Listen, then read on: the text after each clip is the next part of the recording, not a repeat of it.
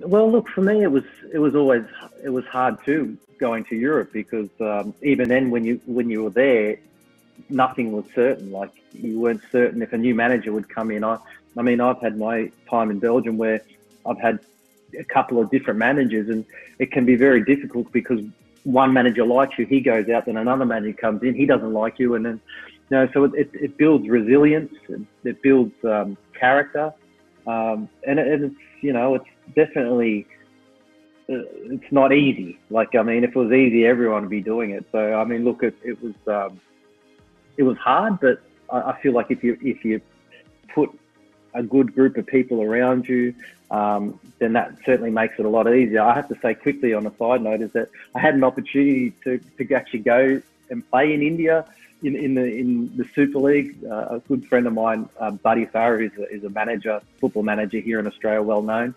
Um, said there was an opportunity, and I wish I had a maybe experience because everything, like you know, you want to experience everything. I mean, I went to Spain and played a game, or played a couple of games in La Liga Five, I think it was, uh, and I wanted to go to Spain when I was like 18, 19, and it's funny enough, I had to wait till I was 40 years old to go and experience that. But uh, look, I mean, I'm I'm happy that it's taken me all over the place, but it with football, it builds resilience, but um, you learn so many different things, different cultures. Um, you experience a lot. I know that with Australians, we're pretty down to earth people, pretty cruisy. Um, I know we don't. We're, we're, probably not like that when you when you think of our cricket team, but but we're we're a pretty cruisy group, and uh, I had to learn a lot when I went to Europe to be a bit tougher. The VAR Show the one place for your weekly football update.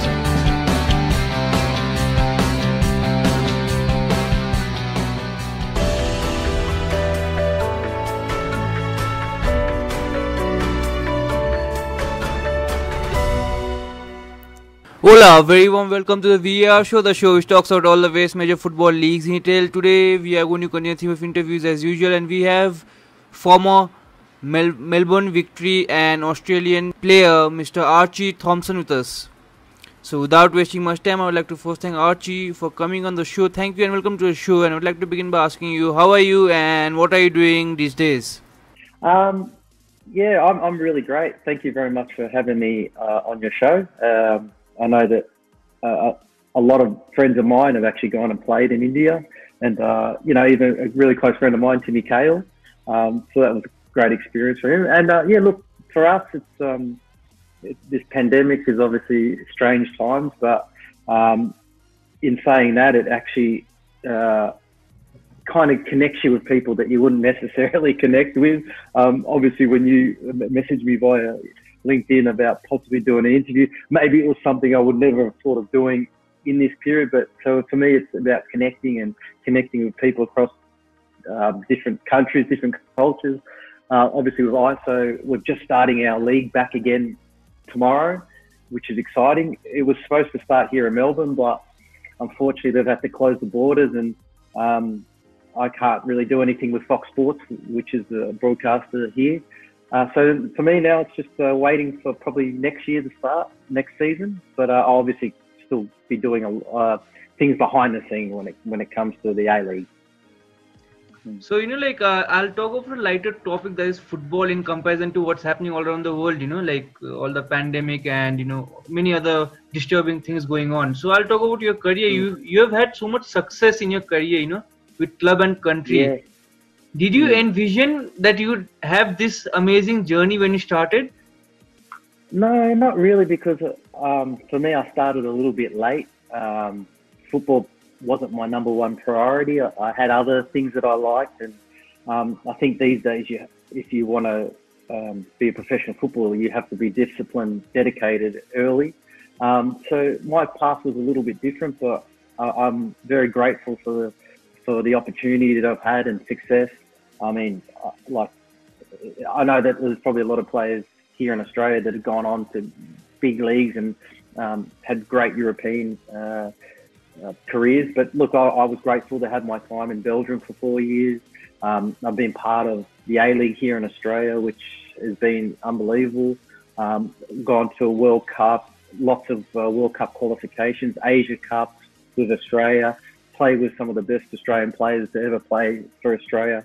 Um, so, you know, for a little country boy here in Australia, um, I'm, I'm, really uh, obviously grateful to, to, have had the career. And, you know, I'm still involved in the game. I still do stuff with Fox Sports here. Um, you know, I'm, I'm, still in communication with a lot of uh, ex-players, even current players with the Socceroos and players overseas. So, look, I'm I'm still involved in the game. I love it. I, I actually probably enjoy it more at the uh, youth level and kids because that's I'm a big kid in myself.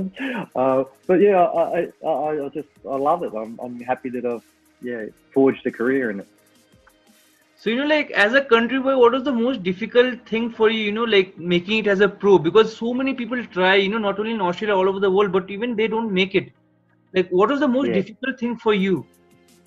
Well, look, for me, it was it was always it was hard too going to Europe because um, even then, when you when you were there, nothing was certain. Like you weren't certain if a new manager would come in. I, I mean, I've had my time in Belgium where I've had a couple of different managers, and it can be very difficult because one manager likes you, he goes out, then another manager comes in, he doesn't like you, and then you know, so it, it, builds resilience, it, it builds um, character, um, and, it, and it's you know, it's definitely uh, it's not easy. Like I mean, if it was easy, everyone would be doing it. So I mean, look, it, it was um, it was hard, but I, I, feel like if you if you put a good group of people around you, um, then that certainly makes it a lot easier. I have to say quickly on a side note is that I had an opportunity to, to actually go and play in India in, in the in the Super League. Uh, a good friend of mine, uh, Buddy Farah, is a, is a manager, football manager here in Australia, well known.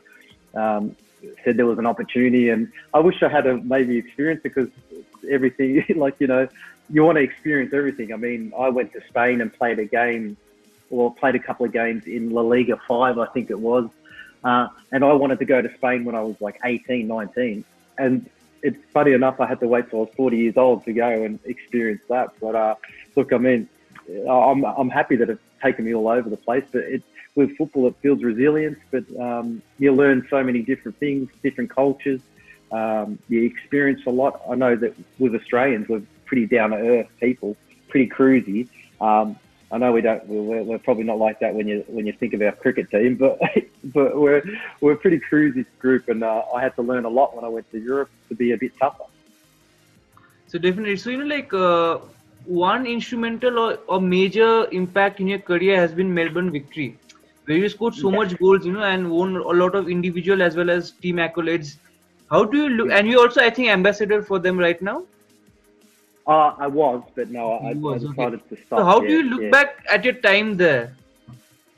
Uh, well, look, because when I went to Melbourne Victory, it was only a new team. So I was in Europe at the time.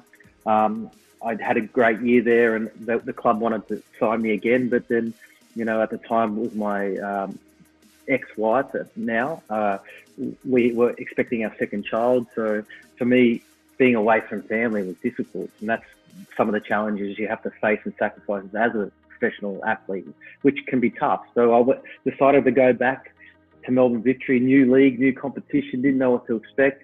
And for me, it was, I felt like it was taking a step back, but it's been 10 steps forward. Like, I mean, when I think of people that have had successful careers, Australian players over in Europe, come back here and nobody really um, knows too much about their success unless you're in the football world. Uh, for me, with the A League starting and being new, uh, everyone that wasn't even a football fan wanted to know what this was about. And I, I became a kind of household name. Everyone sort of knew me. Um, and with being with Melbourne, being uh, a, such a big uh, sporting city, um, immediately everyone just, as soon as Melbourne victory, everyone flocked. And, you know, we had success straight away. And, you know, I was part of, part of that. And I think that's why um, I've had the career here in Australia and especially with Melbourne. And I still, even when I'm doing the Fox Sports at games, they still chant my name and uh, sometimes they, they chant it more than what the actual players are on the pitch, which is which is a nice kind of uh, legacy to leave, I think, because I've always played the game uh, as a fan, so I, I, I kind of didn't separate myself from that, which sometimes people and players do. Um, let the egos get get hold of you. I have, I must admit, in my time, but I feel like I'm in a better place to kind of connect with ev- everybody. So you know, like uh, the Australian league, at least in Asian context, is one of the very good leagues. You know, like the football leagues. So, but Yeah. you know, like as a league as a whole, they have not produced or they have not performed well in the Champions League. I think you Yeah. have had only one winner in 2014. Why is that so? Like, Yeah. do you not take it seriously, or is it like a different context? Oh, look, uh, definitely take it seriously. Um, but then when we did win it with Western Sydney Wanderers that won the, um, like this this club that won it, and the clubs here in Australia, we don't have budgets um, and, and money at our disposal like a lot of these Asian clubs do. So already uh, it's always difficult, and um, and with the travel makes it certainly harder, especially because uh, the way our competition is, it, it, it doesn't overlap um, the Asian competition. It, it's always jagged. So uh, when we're coming into season, um, sort of clubs are coming out, and then you know it's it's just so difficult. Uh, but we, we certainly do want to do well, but it, it, it's always there's um, issues with having a, a big enough squad. Um, having quality, enough quality. You look at a lot of the Japanese, Chinese, uh, Korean clubs that are so successful is they've got they've got three or four different teams they can choose from. We're, we're unfortunately uh, that we, we have squads that we're only allowed 23, and then we're only a certain allowed a certain amount of foreigners. So it's it's always harder to kind of um, compete. But look, we, we, we certainly want to keep doing well, and and uh, I know that we're probably at our national level still very strong in Asia. So we want to obviously spill that over into our, our domestic competition, which is you know we, we keep we keep learning, we keep getting better, but it, you can't compete sometimes when the, when someone's budget's here and we're like there. So it's it's, it's hard. It's hard. So, in like like you mentioned, like uh, you played in Belgium between 2001 and 2005, and was it something that you always wanted to do, like go outside and experience, or was it a spontaneous decision in your career? Yeah, well, um, growing up, uh, you know, all you want to do is play in some of the biggest leagues in Australia, uh, in the world. So, and, and to have success or even have a career or even earn money, that was the place to go. Um, so uh, that that's what all the, in, in my generation we had to look to do. But now with the A League, um, players didn't really necessarily have to go overseas uh, to make money, which I feel like has hampered our um, or uh, restricted us producing good players because the players that I played with were playing in top leagues and in uh, in the UK, in Italy, in Spain. So we had such a great um, national team, which helped our national team. Now, unfortunately, I mean, we want to with the A League. It's great because it, it gives people opportunity and in Korea, but sometimes it, it kind of stops people from wanting to progress and, and get better. Um, but look, I, I, I feel like the A League's still great. I mean, we're, we're in a bit of a tough moment as it is. We, we have to cut our um, broadcasting deal, um, so there's not going to be enough. There's not going to be much money that's been, uh, you know, able to give to the players and clubs and attract people to come here. So look, it's going to be a, um, obviously difficult times in the next few years, but I feel like we'll get better. Definitely, and uh, like you know, like before going to Belgium, you know, like you played in Australia with, and it was the NSL. And when you Yeah. came back, it was the A League. How big of a difference Yeah. was it? Like, was it just a rebranding, or was it a whole different new animal? Uh, well, it was yeah, it was definitely a different new animal. I mean, uh, we didn't have um, probably as many teams, which which is hard because again, you want to give everybody the opportunity, but because it was new and um, so they limited limited teams, they limited a, a number of players that were allowed to be in the team. So it was great, but it was also it was hard too because um, a lot of people and quality players would miss out. Um, but you know, it was just we, we separated from NSL to A League. We also separated the um, ethnic, cultural differences between certain clubs. There would always be, um, you know, fights or uh, disagreements or things like that. Where with the A League, it was like, okay, we want to start and attract families to come watch. We want want we want them to feel safe. We, we still want them to, to have the atmosphere and excitement, but not have that cultural um, fight that had been part of our game here in Australia for a long time. But uh, and and that's that's kind of the difference. I mean, there was quality players. I still believe that the quality of players in the NSL were far better than what we have here in the A League. Um, only because I feel we had so many teams, so there was more opportunity. But um, we're living, we're learning. Uh, I know that, especially with the Indian Football League, you, you would know too that um, with the IPL, uh, amazing crowds, awesome football, and that's the kind of thing we, we wanted to do. Obviously, it's kind of plateaued a little bit and gone, but hopefully we can build that excitement again. Definitely, and you know, like uh, mm. your career spanned over three decades. You know, starting from 1995 to, now, to 2015. 15 uh, how has the game changed from the time you started you know like uh, till the last game you played um, well the professionalism of it all too has changed uh, i know that when i started um, there were some great players but we didn't have the like you know all the sports science all the equipment all the recovery um, that is at players disposals now so for me as as anything as anything evolves, it it gets better and it gets quicker and it gets faster. Um, and that was um, what I've seen with the with football, and especially here in Australia, is just the uh, the speed of the game, um, the, the like the professionalism of people coming through. Like you know, before you used to play, you go out and have a drink, have a laugh, and then you you, you wouldn't it'd be okay. But nowadays, as soon as you finish football, you, you're thinking about the next game? How do I prepare? I need to eat this. I need to drink right, and and that helps obviously develop the game. And it, and it, and for me, it was the, the speed of the game uh, improved, and and and it was um, not necessarily the quality, but just the speed. Different, and uh, also like you also had a spell at PSV.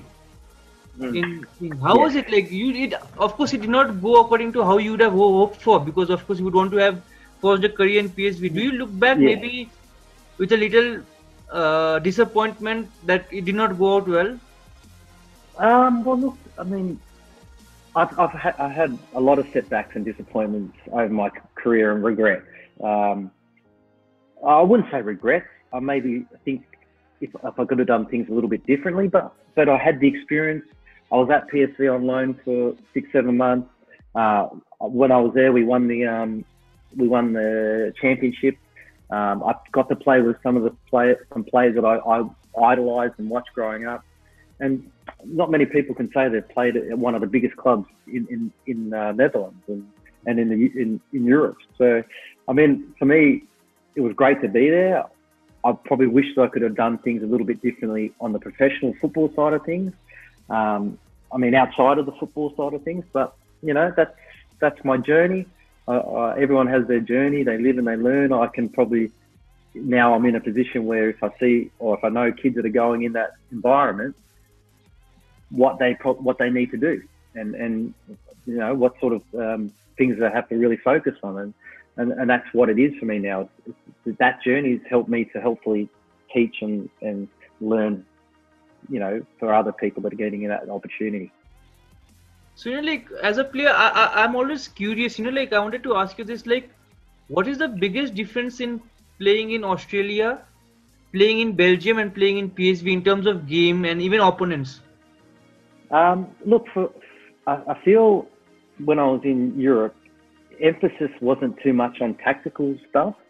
Um, like we, we had our setup uh, and and whatever qualities we had, we just go and play. Um, I feel like here in Australia, it's very, very, um, there's a lot of videos, there's a lot of tactics, and, and, and, and for me, uh, it gets too much because, uh, I, I, mean, that's why I left school so early because my attention was, was diff- difficult and hard. And so I felt like in Europe, PSV, we knew what the team was going to be and we knew the qualities, and then it was just down to the manager to get the best out of the players. And I think that's the difference between um, being in Europe and, and, and being here. It obviously might have changed because uh, you know it's been a long time since I was in Europe, where it, it's probably going to be different tactically and and all that sort of stuff. But uh, I mean, my old ex teammate and coach Kevin Muscat, um, I don't know if you've heard of, is in, is in uh, Belgium now. So he he he'll probably change the whole. Um, uh, dynamics of how he coaches and how Belgians have seen before because I've seen firsthand what he does here. It's a lot of analysing, there's a lot of video, a lot of tactical stuff. So um, everyone needs to evolve and learn and, and, learn off different things. So that's, I feel like the way that um, football is happening.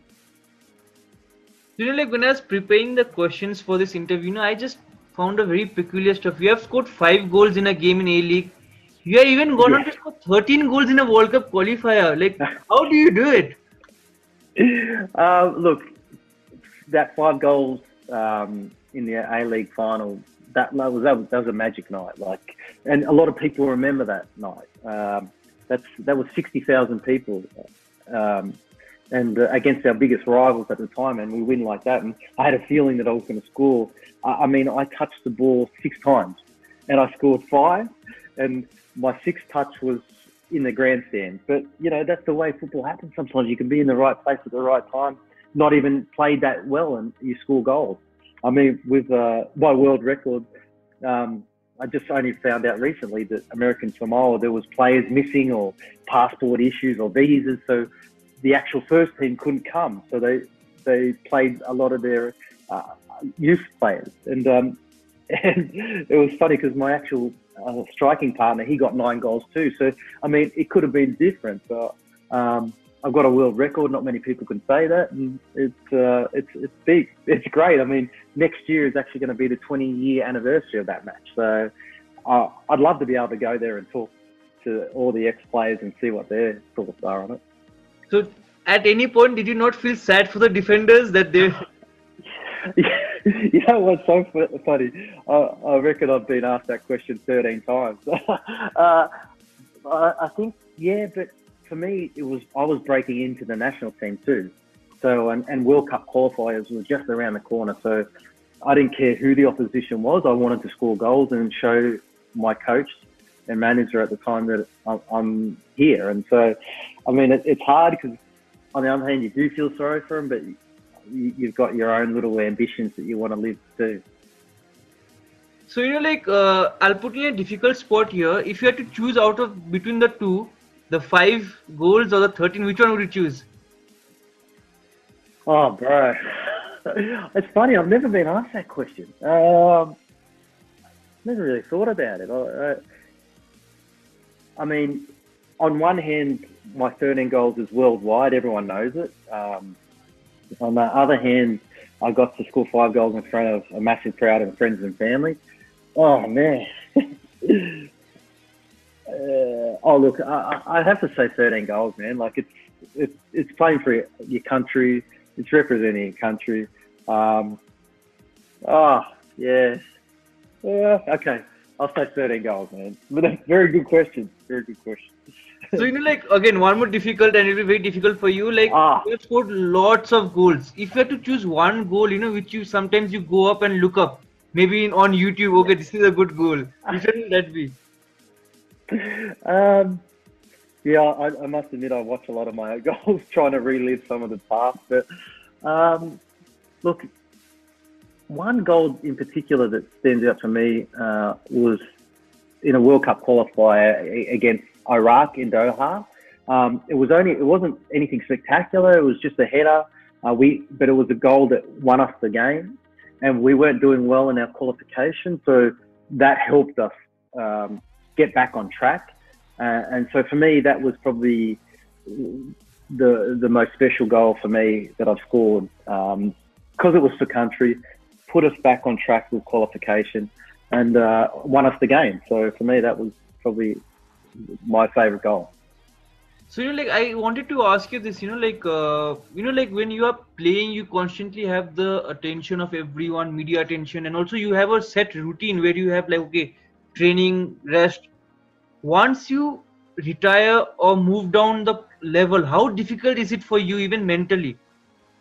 Oh man, look! If you could see my stomach right now, I can tell you it's I mean, it's hard to kind of separate yourself from that athlete and, and not being an athlete because you still see yourself a certain way and, and, and you kind of put pressure on yourself and instead of really just enjoying life. I mean, you still got to keep some or maintain some kind of healthy lifestyle, which I which I do because I still like to train. I'm still playing now. I mean, obviously local, um, but it's hard to keep that motivation because sometimes it's like you don't have to.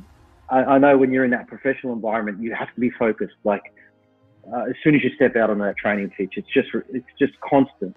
Um, when you turn when you go to local, and it's just a kick around. Sometimes you go, well, what am I doing here? I don't really need to be here. It's cold. Uh, I'm not feeling good. My body's sore, uh, and, and, you kind of think, well, yeah, there's much better places I can be right now. so it's hard to kind of get motivated, but I still love being in that football environment that that, that uh, you know you may you, you, have a laugh, you talk about what's happened in your week or your day, and and, you, and that that sort of I don't know that the excitement of winning or scoring, uh, seeing that, that still excites me and gives me a buzz. So um, look, it's, it's, there's things that you you find hard to separate, but um, the love of the game certainly doesn't fall away. So you know, like uh, on a personal note, did you have do you have plans to get into coaching? Um, look, I'm just going to finish my B license here in Australia, um, and then I'll see what happens. But for me, it's I enjoy other things sometimes than football. Like I mean, uh, I've just started my own academy here. I'll, well, I've, I've, taken a franchise off uh, an academy um, company and to, to work in schools with kids, which I love. Um, so that's something that I, I want to do. But look, I love searching for talent, identifying talent, and um, and trying to nurture that. So for me, it's it's, it's definitely want to coach in the youth area because uh, that's my passion, and, and, obviously I can um, give my experiences to some of the young ones coming through.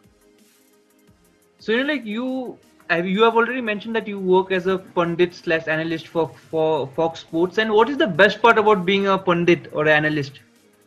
Well, it's it, it, it's hard too because um, for me, it's, uh, it's you you got to separate yourself from being a player. I mean, you know, being a having an opinion and and and, and trying not to upset the player, and um, because I have lots of friends that still play, and um, but but it's it's hard to kind of because I know it, being in that position that they're in, it, it's difficult making decisions. Like it's easy to sit out and you can see everything um, and say, oh, he should have done this, he should have done that. But when you've only got two or three seconds to to um, obviously suss out the situation and what you need to do, it's difficult. So I understand that. For me, it's like just the simple things that I can actually comment on, but situations, uh, it's hard. So I mean, it's difficult because, and then you're not going to please everybody. Like, I mean, the way that I sometimes talk or the, I, I make mistakes and, you know, when I make mistakes, I make them big. So even with, with words or players or, or tactics or, but you know, that's me. Um, I've kind of just gotten used to, uh, because I thought once I finished football, the criticism and, and people um, having a go at you would stop but it doesn't. Like it, it, just keeps continuing, and uh, everyone's like, uh, you know, some comments I'll hear is like, oh, why is he even on TV talking? He can't speak English, you know, stuff like that. And it, it, it upsets you, but um, part of life. You can't please everybody. I've just found that out, and but I enjoy it. I love still talking about football. I love being there.